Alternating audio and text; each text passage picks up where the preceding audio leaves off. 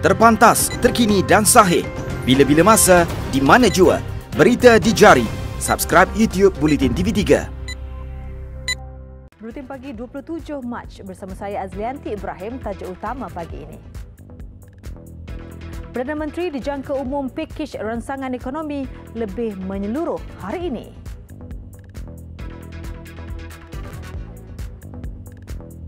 Juga Amerika Syarikat rekod lebih 82,000 kes positif COVID-19 tertinggi di dunia.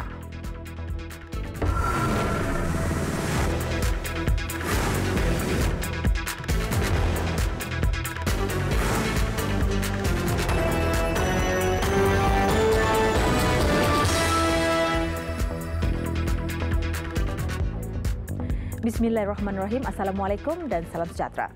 Perintah Kawalan Pergerakan PKP yang dilanjutkan sehingga 14 April hari ini memasuki hari ke-10 dan tumpuan pasti tertumpu kepada pengumuman pakej ransangan ekonomi prihatin rakyat yang lebih menyeluruh dalam menghadapi cabaran wabak COVID-19.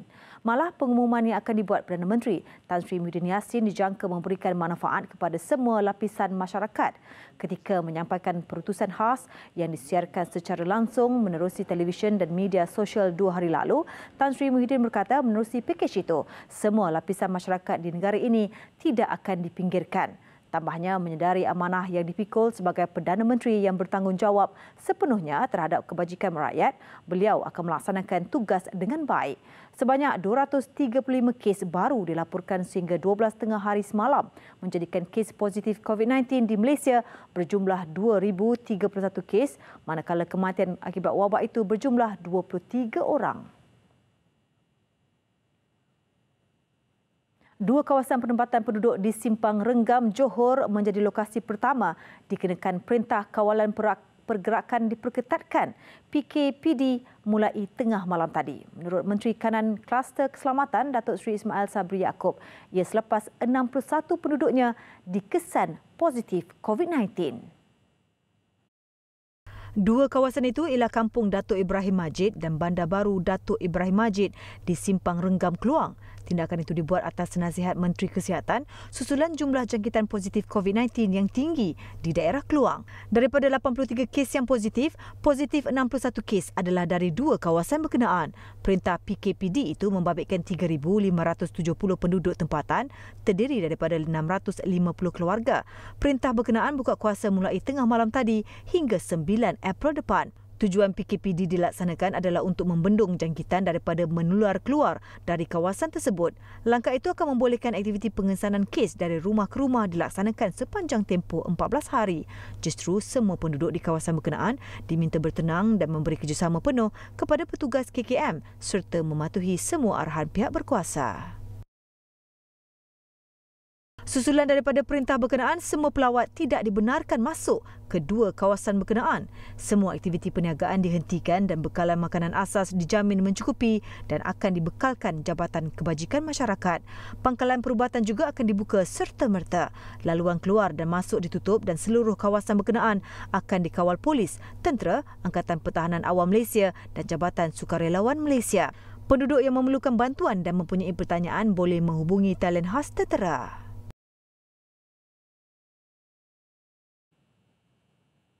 Kementerian Kesihatan mewajibkan semua anggota kesihatan termasuk pekerja pembersihan yang berkhidmat di Hospital Teluk Intan di Perak menjalani saringan COVID-19.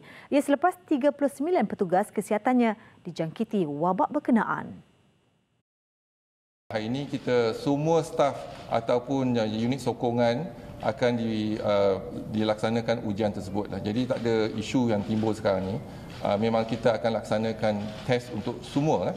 sebab 39 staf uh, di, uh, di Hospital Teluk Intan telah pun dijangkiti dan kita ingin pastikan uh, semua uh, staf ataupun warga kerja di Kementerian Kesihatan di Hospital Teluk Intan diuji dan inilah keputusan kita pada pagi ini. Datuk Dr. Nur Hisham turut menasihatkan semua anggota kesihatan dan barisan hadapan supaya mengamalkan langkah pencegahan terutamanya memastikan tangan sentiasa bersih, mengamalkan jarak sosial dan memakai alat pelindung diri mengikut keperluan ditetapkan.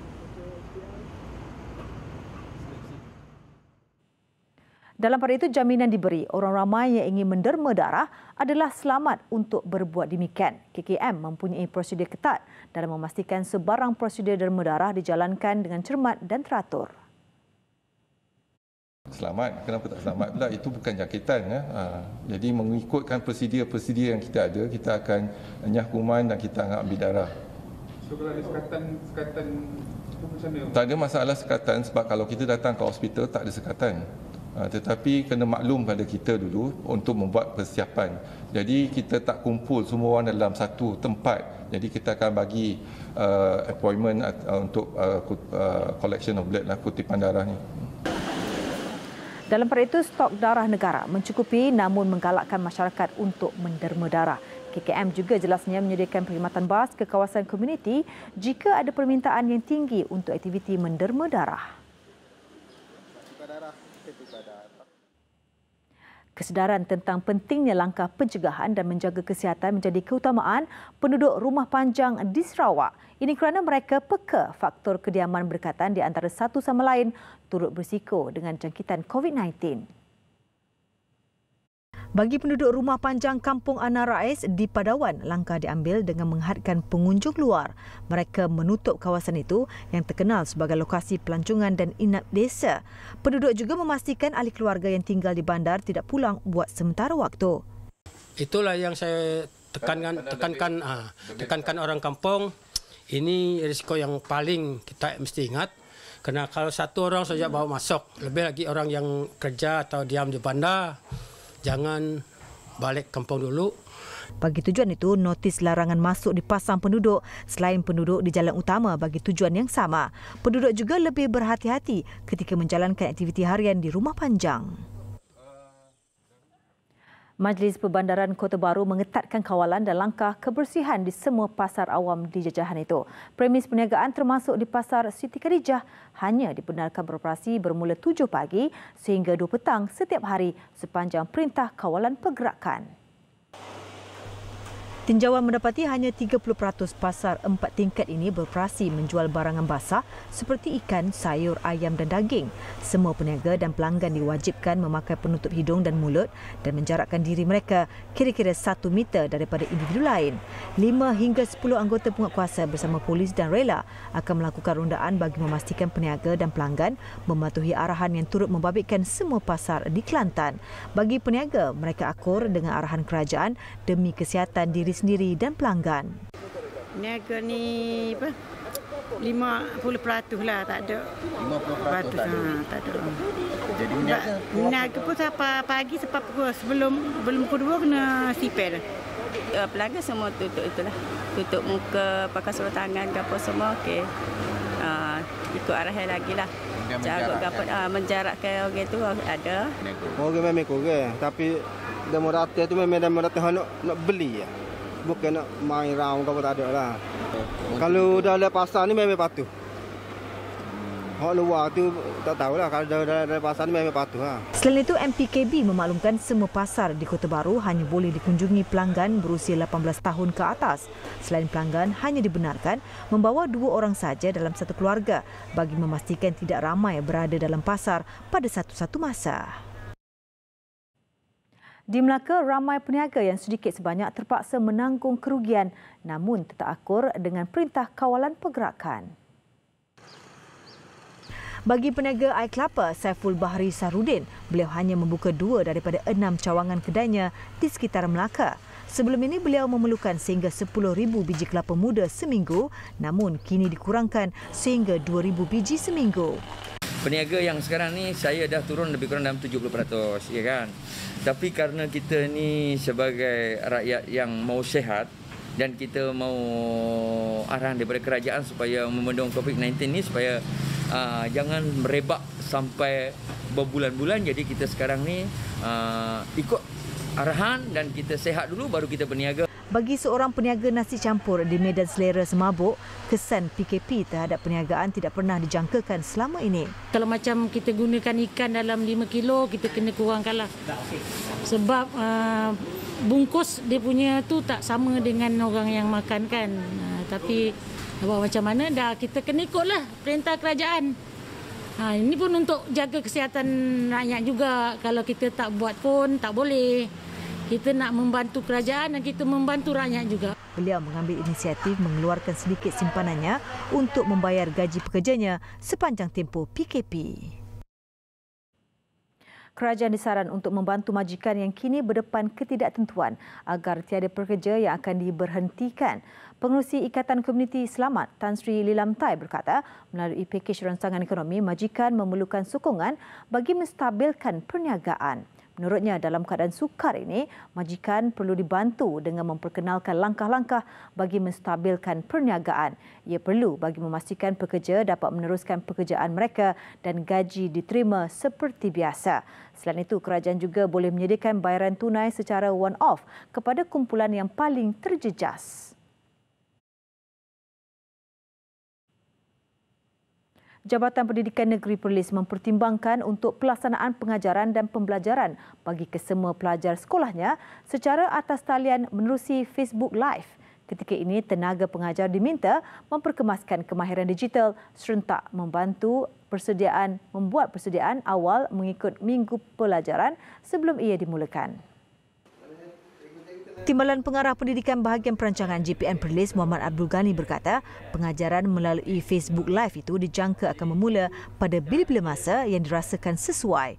Namun pelajar disarankan memuat turun bahan-bahan rujukan awal di internet dan melakukan ulang kaji di rumah menggunakan buku teks sekolah. Uh, Facebook Live ini maknanya uh, anak-anak pelajar dia boleh interact terus bersama dengan uh, dengan apa guru-guru mereka kan dan boleh mendapat jawapan dan soalan dikemukakan dan beri jawapan dan sebagainya. Uh, ini memudahkan proses pengajaran kan. Uh, mungkinlah uh, ada ibu bapa yang kata kami tidak ada kemudahan itu. Tak apa.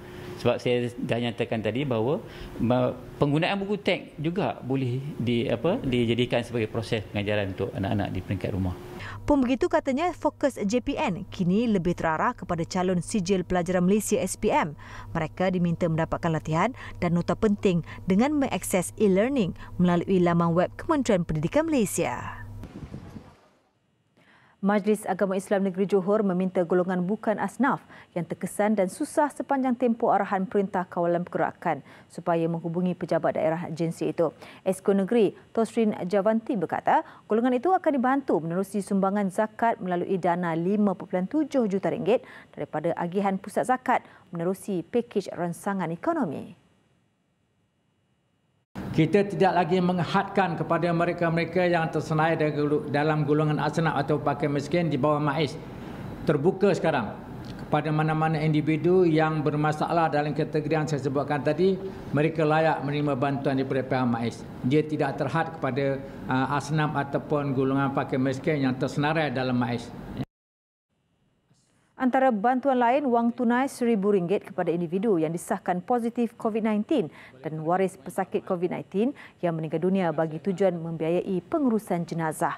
Bantuan juga diberikan kepada orang kelainan upaya OKU dan masyarakat orang asli. Bagi peniaga kecil asnaf, sumbangan Ihsan Johor sebanyak RM500 secara one-off RM200 pula kepada pelajar dari Johor yang sedang melanjutkan pelajaran di Mesir dan RM300 kepada pelajar Johor sedang melanjutkan pelajaran di Jordan.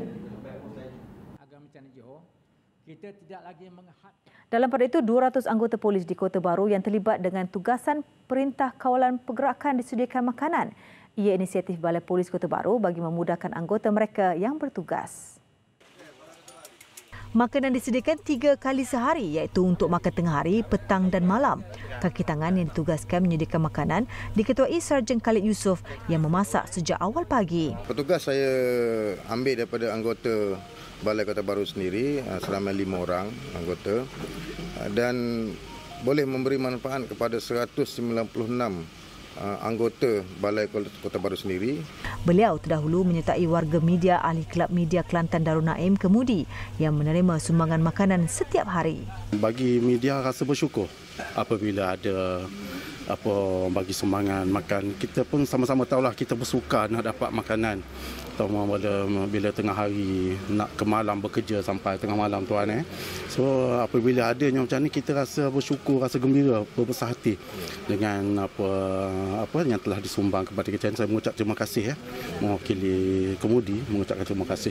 Kita rasa bangga sebab kita masakan kita ni orang makan habis kita rasa seronok.